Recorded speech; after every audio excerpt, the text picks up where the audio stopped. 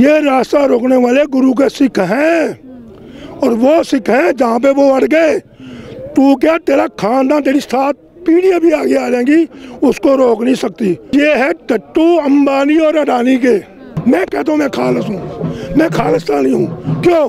क्योंकि सारी मानव जाति मेरे लिए मैं, उस मालिक की दी दात है, उस मालिक के बंदे हैं। मैं सबको अपने गले साथ लगाता हूँ, इसलिए मैं खालिस्तानी हूँ।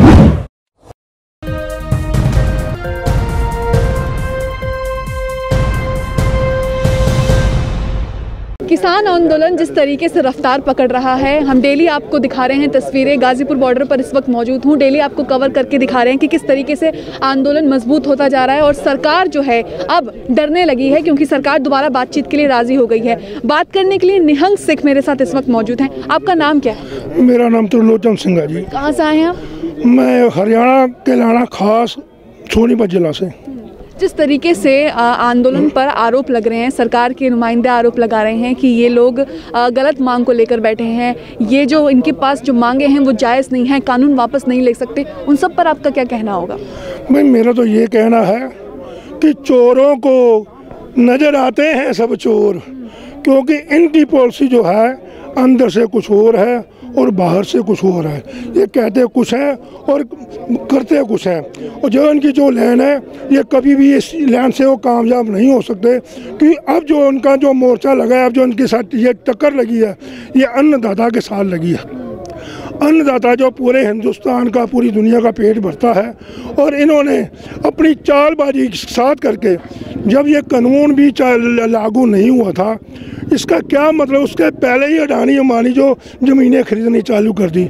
हमारा ज़िला पड़ता है सोनीपत के अंदर, गुहाना के अंदर, वहाँ के अंदर अडानी ने सौ किले ज़मीन ली है, वो गोदाम बनाने के लिए।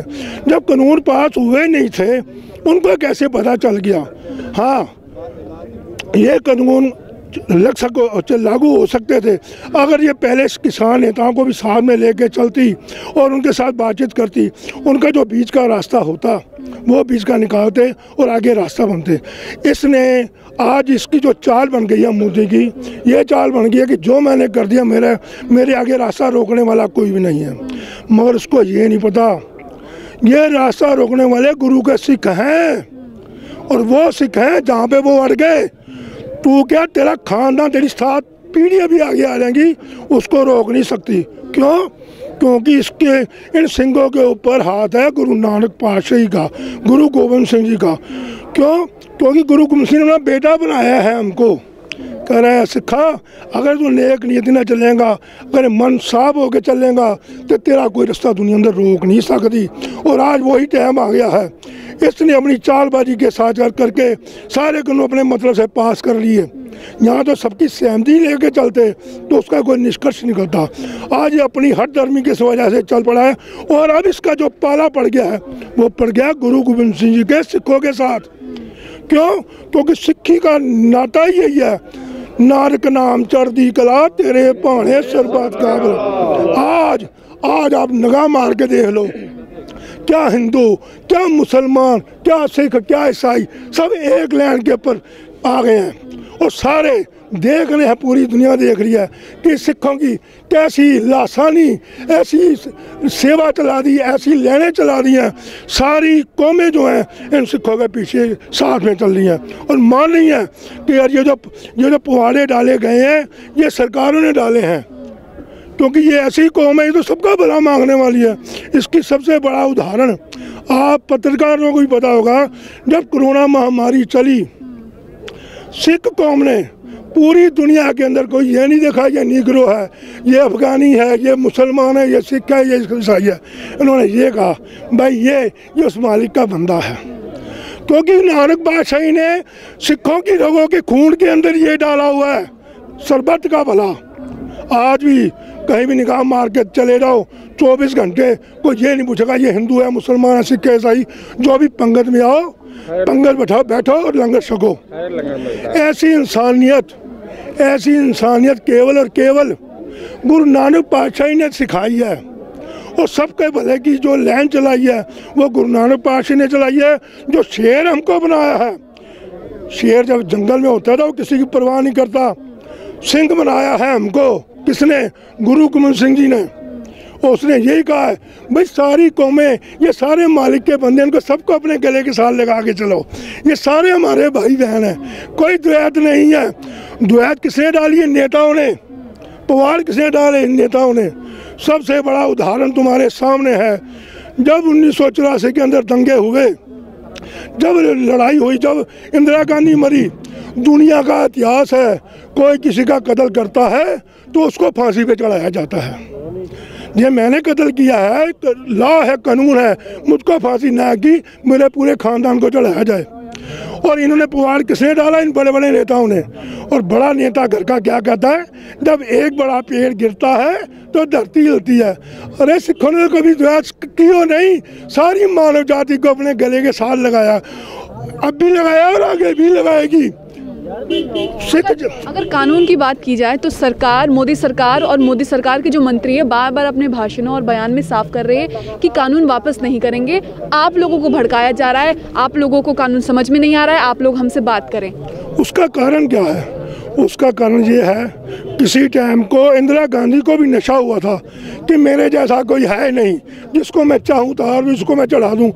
आज अमित शाह और मोदी को भी यही नशा चढ़ा हुआ है, मगर उसको ये नहीं पता उस मालिक की दरगाह का हुक्म क्या है। उसकी मालिका दरगाह का हुक्म आप भी सुन लो, पूरी दुनिया सुन ले। समा आ रहा है। कौन सा समा आ रहा है? उठ गई सभा मलेश की, कर कूड़ा पासार। डंका बाजे धर्म का गुरु कल की तारे अवतार। ये कोरोना जो शुरुआत हुई है, दुनिया के अंदर ऐसा भवंडर मचने वाला है, ऐसी हाहाकार मचने वाली है, और इसको कौन बचाएगा? इसको बचाएगा। कल की अवतार, कल की अवतार का आग बने, आज आ जाए साल को आ जाए दो को आ जाए पाँच को आ जाए दुनिया के अंदर ये मोदी, क्या मोदी का खानदान भी रहेगा शांति नहीं कर सकता? शांति केवल एक करेगा, वो करेगा, वो महाबली। वो वो बनाव बनना है, वो दायरा बढ़ रहा है। पहले कोरोना आया, आज ये तुम्हारा किसान आंदोलन चल पड़ा है, और आगे आगे ये काम बढ़ता जाएगा। प्रधानमंत्री लगातार कह रहे हैं कि कानून सही है, आय दोगुनी हो जाएगी, अमीर हो जाएगा किसान। इसको नशा है, इसको नशा क्या है? ये है टट्टू अंबानी और अडानी के। क्योंकि इन सरकारों के गले जो है, अंबानी और नानियों के हाथों में है। अब उनका जो, उनके साथ ये नहीं चलेंगे तो इनकी सरकार को वो हिला के रख देंगे। इस वजह से वो कानून, यही कोशिश करे कानून हम जो है वापस नहीं लेंगे और इसका कानून जो वापस, अब जो पाला पड़ गया है इसका, अब पाला पड़ गया गुरु के सिखों के साथ। अब आ गई नाक की लड़ाई। अब जो समा आ गया सिख मर जाएँगे, कर जाएँगे, क्यों? क्योंकि सिखों के साथ पूरी मानव जाति है। हिंदू मुस्लिम सिख ईसाई सारी मान जाति है। आज तुम नज़ारा सारा देख रहे हो। पूरे मोर्चों के अंदर सारा नज़ारा देख रहे हो। सारे भाई बहन मिलके इस मोर्चे को चले और समा आने के ऊपर इस मोर्चे को फतेह डालेंगे और इसको झुकना ही पड़ेगा चाहे कुछ भी ये कर ले। लेकिन अगर नहीं झुकी तो फिर क्या करोगे आप? नहीं झुकेगा। नहीं झुकेगा तो फिर जैसे जैसे आगे रास्ता हमारे जो बड़े बड़े नेता हैं जो जो करेंगे उनके पीछे हम चलेंगे। अच्छा मन की बात का विरोध किया था आपने? मन की बात हम, मन की बात का विरोध हमने छानिया बजा के किया। कि क्या तेरी बात सुने हम?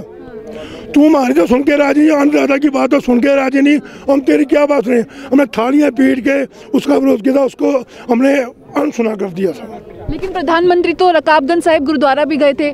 वहाँ भी भाई, अब कोई भी गुरुद्वारा जो ऐसी स्थान है, वहाँ पे किसी को रोका नहीं जा सकता। कोई भी आए, हिंदू आए, मुस्लिम आए, राजा आए, रंग आए, कोई भी आए, वो आए अपनी उन्होंने गुरुद्वारे वालों ने उनको बुलाया थोड़ी था। वो तो अपनी मर्ज़ी से गया था। कोई उनको बुलाया तो नहीं था। अब जाके वो फरियादें करता फिर रहा। फरियादें तूने करती है करनी है किसानों के आगे करा उनके नेताओं के आगे बात कर दूँ उसका कोई हल निकल सके।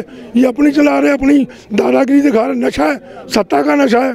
क्योंकि इसका सत्ता का नशा भी अब इसका टूटने वाला है। अमित शाह कह रहे हैं कि हम पचास साल राज करेंगे सत्ता पचास? ये पचास साल का दूँगा पचास साल तू पहले जीवन तो बिता ले अपना। पचास साल की तो तेरी ज़िंदगी भी नहीं बची तेरी तो। तू तो पच्चीस साल भी निकाल रहा बहुत बड़ी बात है। बाकी समा आ रहा है। इनको नशा है सत्ता का। जैसे इंदिरा गांधी को नशा था उसको कोई नहीं ला सकता था। समा बना आज कांग्रेस की क्या दशा है? इसी ढंग से ये जनता भारतीय जनता पार्टी को अपना नशा चढ़ा हुआ है। सरकार के पास तो बहुमत है ना? ठीक है देखो जब समय हर एक चीज़ टाइम अनुसार बदलाव आता है। अब समय आएगा जब ऐसा समय आएगा, जो हाल कांग्रेस का हुआ है, उससे बुरा हाल जो है भारत बीजेपी का होने वाला है। क्योंकि उसका एक नीति है, एक और नीति है, वो कौन सी नीति है? हिंदूवादी। वो किसी सिखों को लेकर कि हिंदू को लेकर कि मुसलमानों को सामने लेकर नहीं चल रहा। वो हिंदूवादी आर एस एस की नीति इसकी चल रही है, और ऐसा आर एस एस की नीति। अब जो है, थोड़ा टाइम है समाने के ऊपर ये जो है आप बदलाव देखोगे। टाइम आ रहा है। टाइम आएगा ये सब बिखरते चले जाएँगे। आरएसएस के लोग कह रहे हैं कि यहाँ पे पाकिस्तान जिंदाबाद के नारे लगाए जा रहे हैं। पाकिस्तान का ये कहते हैं जब आदमी का सिर फिरा हो जाए ना वो कुछ भी बोलने लगता है। अब इनकी ये दशा ये हो गई है आरएसएस वालों की।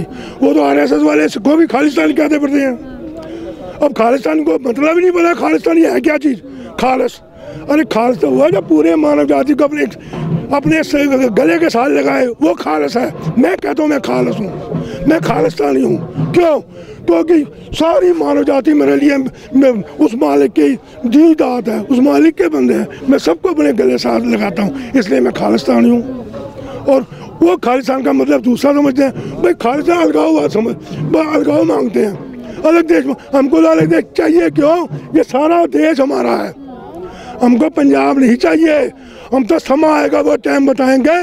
उदय से लेके अस्त तक खालसे का राज दिखा देंगे समा आएगा तो। तो ये निहंग सिख थे मेरे साथ जिनको आपने सुना आ, कानून जब तक वापस नहीं होगा किसान इस सड़क पर दिल्ली की सीमा पर डटा रहेगा ये बात तो तय हो गई है। लेकिन आ, सरकार का जो अड़ियल रवैया है वो कल के बाद पता लग जाएगा कि कितना सरकार नरम पड़ेगी क्या सरकार के कानों पे जू रेग रही है एक महीना होने को आ गया है किसान आंदोलन को। क्या ये भी सीए की तरह खिंच जाएगा और सीए की तरह ठंडे बस्ते में सरकार इसको डाल देगी? गाजीपुर बॉर्डर से न्यूज़ मैक्स के लिए कैमरामैन फैज हुसैन के साथ मुनमुन सभी अहम खबरों के लिए न्यूज़ एमएक्स को सब्सक्राइब करें, साथ ही बेल आइकॉन को ज़रूर दबाएँ। लाइक शेयर कमेंट करना ना भूलें